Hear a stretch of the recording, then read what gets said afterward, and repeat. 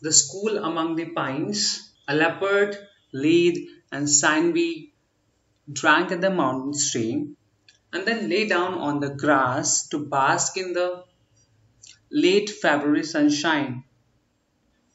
Its tail twisted occasionally, and the animal appeared to be sleeping. At the sound of distant voices it raised its head to listen, then stood up and leapt lightly over the boulders in the stream, disappearing among the trees on the opposite bank. A minute or two later, three children came walking down the forest path. They were a girl and two boys, and they were singing in their local dialect an old song they had learned from their grandparents. Five more miles to go. We climbed through rain and snow. A river to cross, a mountain to pass. Now we've four more miles to go. The school satchels looked new. Their clothes had been washed and pressed. The loud and cheerful singing startled a spotted forktail.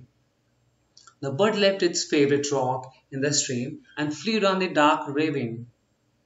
Well, we have only three more miles to go, said the bigger boy, Prakash, who had been this way hundreds of times, but first we have to cross the stream.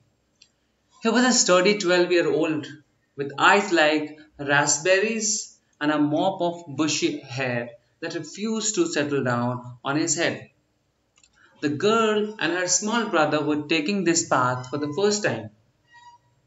I'm feeling tired, Bina, said the little boy. Bina smiled at him and Prakash said, Don't worry, Sonu. You'll get used to the walk. There's plenty of time. He glanced at the old watch he'd been given by his grandfather. It needed constant winding. We can rest here for five or six minutes. They sat down on a smooth boulder and watched the clear water of the shallow stream tumbling downhill. Bina examined the old watch on Prakash's wrist. The glass was badly scratched, and she could barely make out the figures on the dial. Are you sure it still gives the right time? She asked. Well, it loses five minutes every day, so I put it ten minutes forward at night. That means by morning it's quite accurate. Even our teacher, Mr. Mani, asks me for the time. If he doesn't ask, I tell him. The clock in our classroom keeps stopping. They removed their shoes and let the cold mountain water run over their feet. Bina was the same age as Prakash. She had pink cheeks, soft brown eyes, and hair that was just beginning to lose its natural curls. Hers was a gentle face, but a determined little chin showed that she could be a strong person. Sonu, her younger brother, was 10. He was a thin boy who had been sickly as a child but was now beginning to fill out. Although he did not look very athletic, he could run like the wind. Bina had been going to school in her own village of Koli on the other side of the mountain, but it had been a primary school. Finishing at class 5, now, in order to study in the 6th, she would have to walk several miles every day to Nauti, where there was a high school going up to the 8th. It had been decided that Sonu would also shift to the new school to give Bina company. Prakash, their neighbor in Koli, was already a pupil at the Nauti school. His mischievous nature, which sometimes got him into trouble, had resulted in his having to repeat a year. But this did not seem to bother him. What's the hurry? He had told his indignant parents, You're not sending me to a foreign land when I finish school, and our cows aren't running away, are they? You would prefer to look after the cows, wouldn't you? asked Bina as they got up to continue their walk. Oh, school's all right. Wait till you see old Mr. Mani. He always gets our names mixed up, as well as the subjects he's supposed to be teaching. At out last lesson, instead of maths, he gave us a geography lesson. More fun than maths, said Bina. Yes, but there's a new teacher this year. She is very young, they say, just out of college. I wonder what she'll be like. Bina walked faster and Sonu had some trouble keeping up with them. She was excited about the new school and the prospect of different surroundings. She had seldom been outside her own village. With its small school and single ration shop, the day's routine never varied. Helping her mother in the fields or with household tasks like fetching water from the spring or cutting grass and fodder for the cattle. Her father, who was a soldier, was away for nine months in the year, and Sonu was still too small for the heavy tasks. As they neared Nauti village, they were joined by other children coming from different directions. Even where there were no major roads, the mountains were full of little lanes and shortcuts. Like a game of snakes and ladders, these narrow paths zigzagged around the hills and villages, cutting through fields and crossing narrow ravines until they came together to form a fairly busy road along which mules, cattle, and goats joined the throng. Nauti was a fairly large village, and from here a broader but dustier road started for Tehri. There was a small bus, several trucks, and for the part of the way, a road roller. The road hadn't been completed because the heavy diesel roller could not take the steep climb to Nauti. It stood on the roadside halfway up the road from Tehri. Prakash knew almost everyone in the area and exchanged greetings and gossip with other children as well as with muleteers, bus drivers, milkmen, and laborers working on the road. He loved telling everyone the time, even if they weren't interested. It's nine o'clock, he would announce, glancing at his wrist. Isn't your bus leaving today? Off with you, the bus driver would respond. I'll leave when I'm ready. As the children approached Nauti, the small flat school buildings came into view on the outskirts of the village, fringed with a line of long-leaved pines. A small crowd had assembled on the playing field. Something unusual seemed to have happened. Prakash ran forward to see what it was all about. Bina and Sonu stood aside, waiting in a patch of sunlight near the boundary wall. Prakash soon came running back to them. He was bubbling over with excitement. It's Mr. Mani, he gasped. He's disappeared. People are saying a leopard must have carried him off. Mr. Mani wasn't really old. He was about 55 and was expected to retire soon. But for the children, adults over 40 seemed ancient, and Mr. Mani had always been a bit absent minded even as a young man. He had gone out for his early morning walk, saying he'd be back by 8 o'clock. In time to have his breakfast and be ready for class. He wasn't married, but his sister and her husband stayed with him when it was past 9 o'clock. His sister presumed he'd stopped at a neighbor's house for breakfast he loved tucking into other people's breakfast, and that he had gone on to school from there. But when the school bell rang at 10 o'clock and everyone but Mr. Mani was present, questions were asked and guesses were made. No one had seen him return from his walk, and inquiries made in the village showed that he had not stopped at anyone's house. For Mr. Mani to disappear was puzzling. For him to disappear without his breakfast was extraordinary. Then a milkman returning from the next village said he had seen a leopard sitting on a rock on the outskirts of the pine forest. There had been talk of a cattle killer in the valley, of leopards and other animals being displaced by the construction of a dam. But as yet no one had heard of a leopard attacking a man. Could Mr. Mani have been its first victim?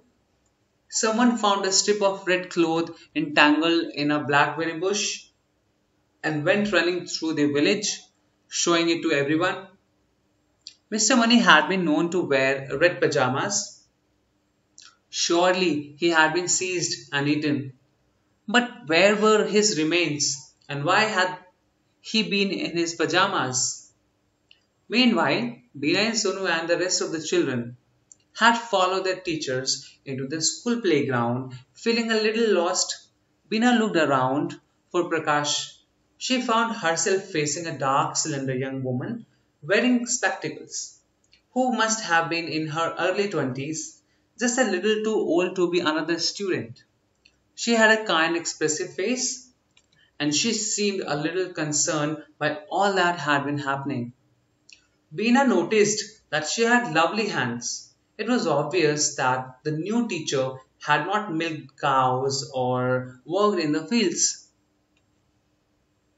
You must be new here, said the teacher, smiling at Bina.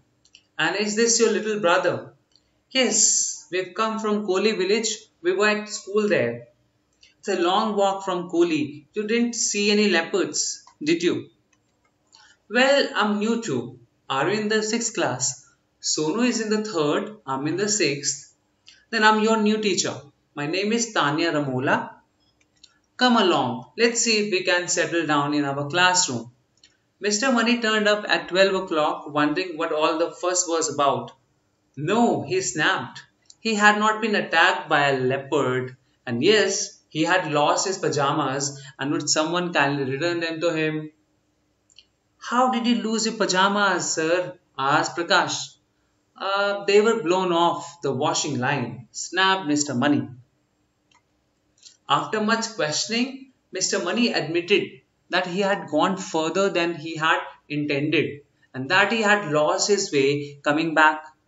He had been a bit upset because the new teacher, a slip of a girl, had been given charge of the sixth, while he was still with the fifth, along with that troublesome boy Prakash, who kept on reminding him of the time. The headmaster had explained that as Mr. Mani was due to retire at the end of the year, the school did not wish to burden him with a senior class, but Mr. Mani looked upon the whole thing as a plot to get rid of him. He glowered at Miss Ramola whenever he passed her, and when she smiled back at him, he looked the other way. Mr. Mani had been getting even more absent minded of late, putting on his shoes without his socks, wearing his homespun waistcoat inside out, mixing up people's names, and of course, eating other people's lunches and dinners.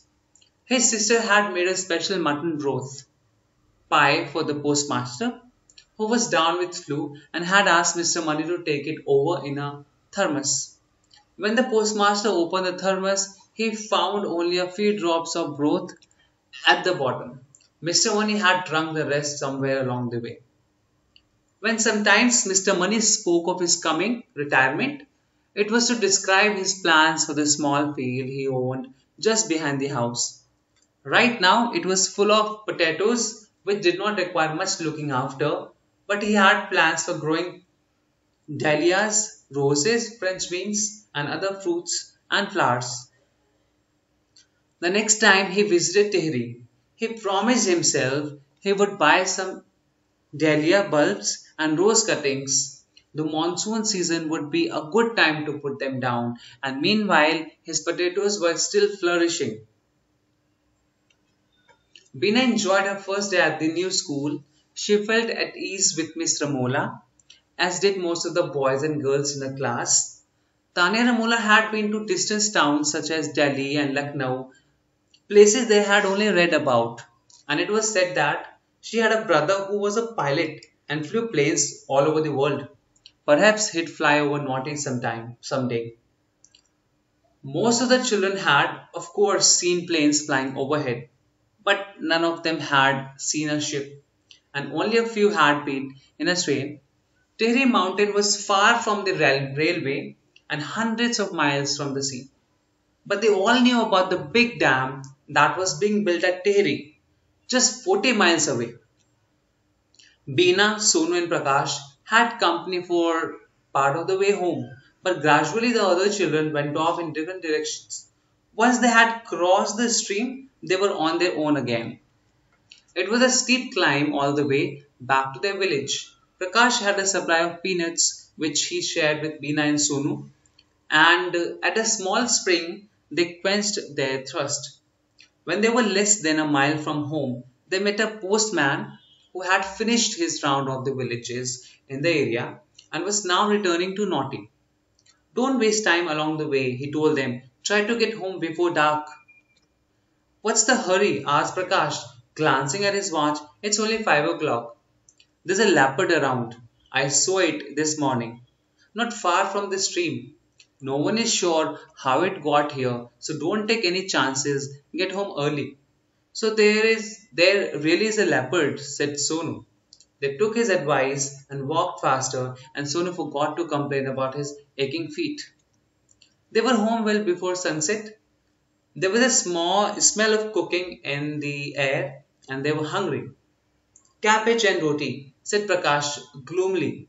But I could eat anything today. He stopped outside his small slate roof house, and Bina and Sonu waved him goodbye then carried on across a couple of plugged fields until they reached their small stone house. Stuffed tomatoes, said Sonu, sniffing just outside the front door. And lemon pickle, said Bina, who had helped cut, sun and salt the lemons a month previously. Their mother was lighting the kitchen stove. They greeted her with great hugs and demands for an immediate dinner. She was a good cook who could make even the simplest of dishes taste delicious. Her favorite thing was homemade pie is better than chicken soup in Delhi, and Bina and Sonu had to agree. Electricity had it to reach their village, and they took their meal by the light of a kerosene lamp. After the meal, Sonu settled down to do a little homework, while Bina stepped outside to look at the stars. Across the fields, someone was playing a flute. It must be Prakash, thought Bina. He always breaks off on the high notes. But the flute music was simple and appealing, and she began singing softly to herself in the dark. Mr. Mani was having trouble with the porcupines. They had been getting into his garden at night and digging up and eating his potatoes. From his bedroom window, left open, now that the mild April weather had arrived, he could listen to them enjoying the vegetables he had worked hard to grow. Scrunch, scrunch, cutter, cutter, as their sharp teeth sliced through the largest and juiciest of potatoes.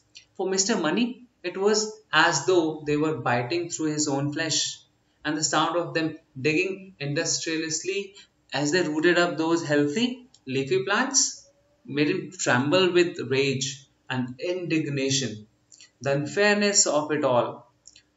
Yes, Mr. Mani hated porcupines. He prayed for their destruction, their removal from the face of the earth. But as his friends were quick to point out, Bhagwan protected porc- porcupines too. And in any case, you could never see the creatures or catch them. They were completely nocturnal. Mr. Mani got out of bed every night, torch in one hand, a stout stick in the other, but as soon as he stepped into the garden, the crunching and digging stopped, and he was greeted by the most infuriating of silences. He would grope around in the dark, swinging wildly with the stick, but not a single porcupine was to be seen or heard. As soon as he was back in the bed, the sounds would start all over again scrunch, scrunch, cutter, cutter. Mr. Mani came to his class tired and disheveled. With rings beneath his eyes and a permanent frown on his face, it took some time for his pupils to discover the reason for his misery. But when they did, they felt sorry for their teacher and took to discussing ways and means of saving his potatoes from the porcupines. It was Prakash who came up with the idea of a moat or water ditch. Porcupines don't like water, he said knowledgeably. How do you know? asked one of his friends. Throw water on one and see how it runs. They don't like getting their quills wet. There was no one who could disapprove Prakash's theory, and the class fell in with the idea of building a moat, especially as it meant getting most of the day off. Anything to make Mr. Mani happy, said the headmaster, and the rest of the school watched with envy as the pupils of the class 5, armed with spades, and shovels collected from all parts of the village took up their positions around Mr. Mani's potato field and began digging a ditch. By evening, the moat was ready, but it was still dry, and the porcupines got in again that night and had a great feast. At this rate, said Mr. Mani gloomily, there won't be any potatoes left to save. But next day, Prakash and the other boys and girls managed to divert the water from a stream that flowed past the village. They had the satisfaction of watching it flow gently into the ditch. Everyone went home in a good mood. By nightfall, the ditch had overflowed, the potato fields was flooded, and Mr. Mani found himself trapped inside his house. But Prakash and his friends had won the day. The porcupine stayed away that night. A month had passed, and wild violets, daisies, and buttercups now sprinkled the hill slopes, and on her way to school, Bina gathered enough to make a little posy. The bunch of flowers fitted easily into an old inkwell. Miss Ramola was delighted to find this little display in the middle of her desk. Who put these here? she asked in surprise. Bina kept quiet and the rest of the class smiled secretively. After that, they took turns bringing flowers for the classroom. On her long walks to school and home again, Bina became aware that April was the month of new leaves. The oak leaves were bright green above and silver beneath. And when they rippled in the breeze, they were like clouds of silvery green. The path was strewn with old leaves Dry and crackly Sonu loved kicking them around. Clouds of white butterflies floated across the stream. Sonu was chasing a butterfly when he stumbled over something dark and repulsive. He went sprawling on the grass. When he got to his feet, he looked down at the remains of a small animal. Bina, Prakash, come quickly, he shouted. It was part of a sheep, killed some days earlier by a much larger animal. Only a leopard could have done this, said Prakash. Let's get away then, said Sonu it might still be around. No, there's nothing left to eat. The leopard will be hunting elsewhere by now. Perhaps it's moved on to the next valley. Still, I'm frightened, said Sonu. There may be more leopards. Bina took him by the hand. Leopards don't attack humans, she said. They will if they get a taste for people, insisted Prakash. Well, this one hasn't attacked any people as yet, said Bina. Although she couldn't be sure, hadn't there been rumors of a leopard attacking some workers near the dam? But she did not want Sonu to feel afraid, so she did not mention the story. All she said was, it has probably come here because of all the activity near the dam.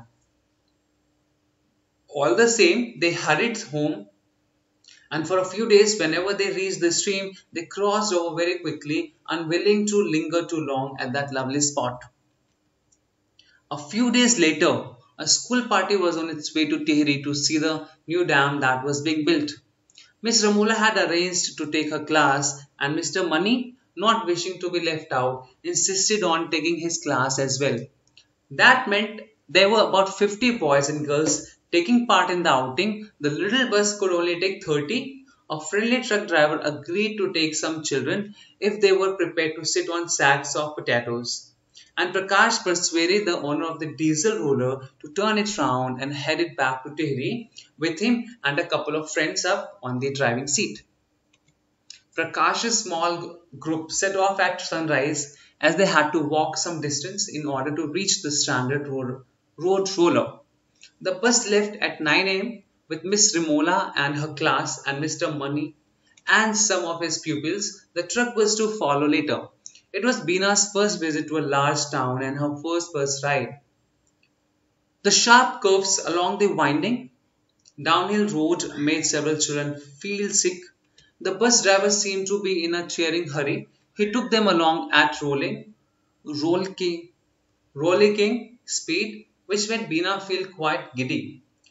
She rested her head on her arms and refused to look out of the window. Hairpin bends and cliff edges, pine forests and snow-capped peaks.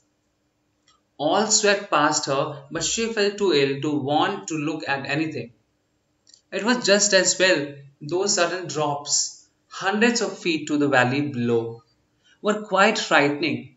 Bina began to wish that she hadn't come or that she had joined Prakash on the road roller instead. Miss Ramola and Mr. Mani did not seem to notice the lurching and groaning of the old bus. They had made this journey many times. They were busy arguing about the advantages and disadvantages of large dams, an argument that was to continue on and off for much of the day. Sometimes in Hindi, sometimes in English, sometimes in local dialect. Meanwhile, Prakash and his friends had reached the roller. The driver hadn't turned up, but they managed to reverse it and get it going in the direction of Tehri. They were soon overtaken by both the bus and the truck, but kept moving along at a steady chug. Prakash spotted Bina at the window of the bus and waved cheerfully. She responded feebly. Bina felt better when the road leveled out near Tehri. As they crossed an old bridge over the wide river, they were startled by a loud bang which made the bus shudder.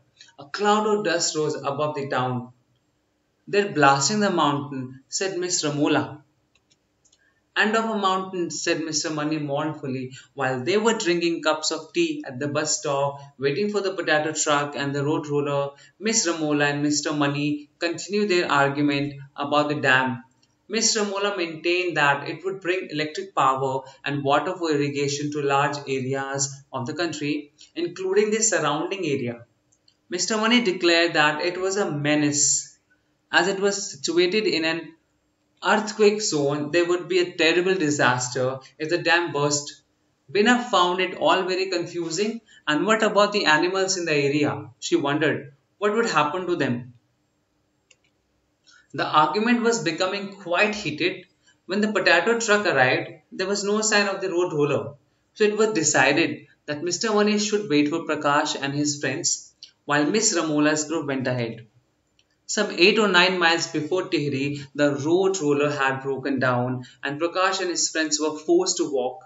They had not gone far, however, when a mule train came along, five or six mules that had been delivering sacks of grain in Nauti, a boy rode on the first mule, but the other had no loads. Can you give us a ride to Tehri? called Prakash.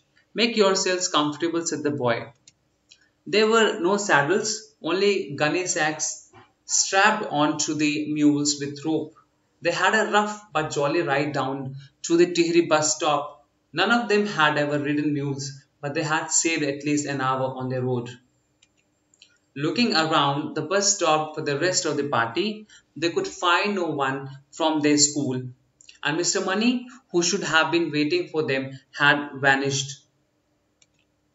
Tanya Ramola and her group had taken the steep road to the hill above Tehri.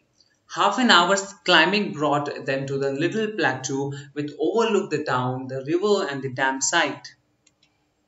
The earthworks for the dam were only just coming up, but a wide tunnel had been bored through the mountain to divert the river into another channel. Down below, the old town was still spread out across the valley, and from a distance it looked quite charming and picturesque.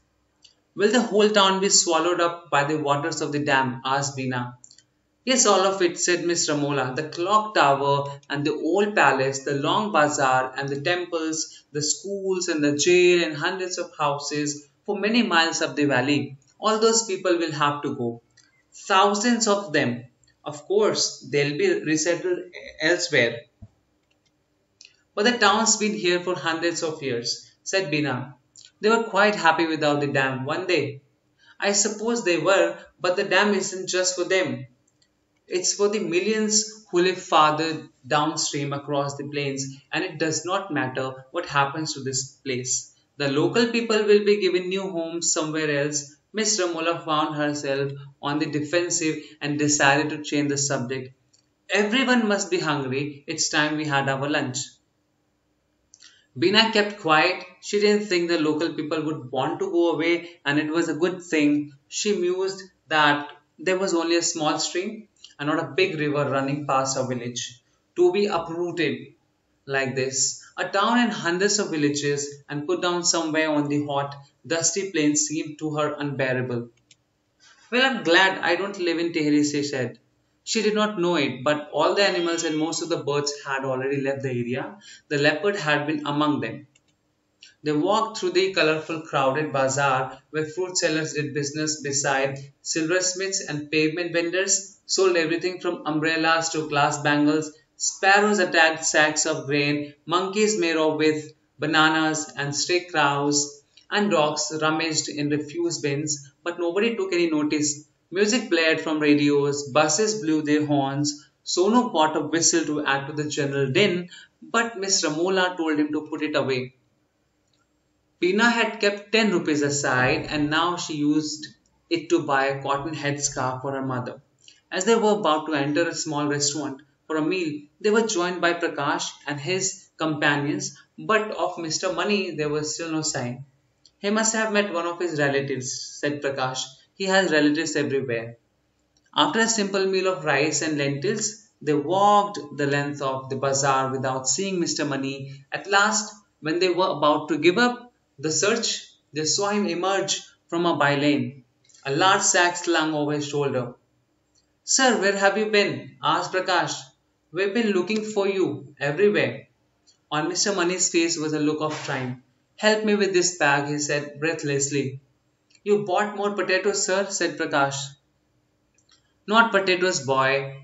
Dahlia bulbs. It was dark by the time they were all back in Nauti. Mr. Mani had refused to be separated from his sack of dahlia bulbs and had been forced to sit in the back of the truck with Prakash and most of the boys. Bina did not feel so ill on the return journey. Going uphill was definitely better than going downhill, but by the time the bus reached Nauti, it was too late for most of the children to walk back to uh, the more distant villages. The boys were put up in different homes while the girls were given beds in the school veranda. The night was warm and still. Large moths fluttered around the single bulb that lit the veranda. Counting moths, Sonu soon fell asleep, but Bina stayed awake for the some time. Listening to the sounds of the night, a nightjar went tonk tonk in the bushes, and somewhere in the forest an owl hooted swiftly. The sharp call of a barking deer travelled up the valley. From the direction of the stream, jackals kept howling. It seemed that there were more of them than ever before. Bina was not the only one to hear the barking deer. The leopard stretched full length on a rocky ledge heard it too. The leopard raised its head and then got up slowly. The deer was its natural prey, but there weren't many left, and that was why the leopard robbed of its forest by the dam had taken to attacking dogs and cattle near the villages. As the cry of the barking deer sounded nearer, the leopard left its lookout point and moved swiftly through the shadows towards the stream.